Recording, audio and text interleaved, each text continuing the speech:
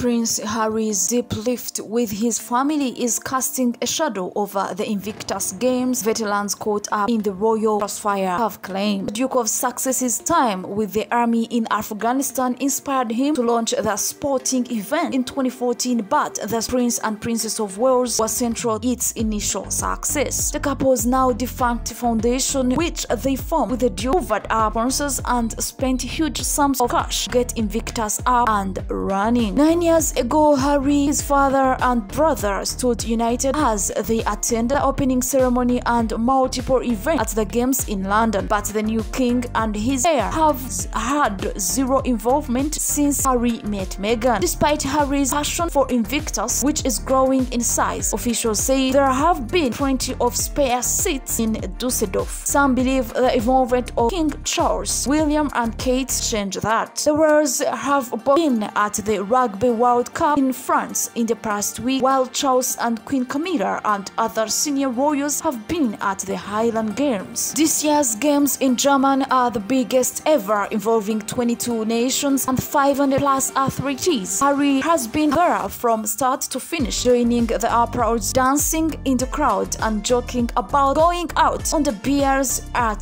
the end of the day. He was in high spirits in the days before Meghan arrived, high having children and singing Sweet Caroline. But there have been no word from his family in the UK. Double amputee MC who was on the same return flight from Afghanistan as Harry in 2008 and is credited with inspiring the Duke to launch Invictus, said he understood both sides of the lift between the brothers, but he added that they should have put their differences aside.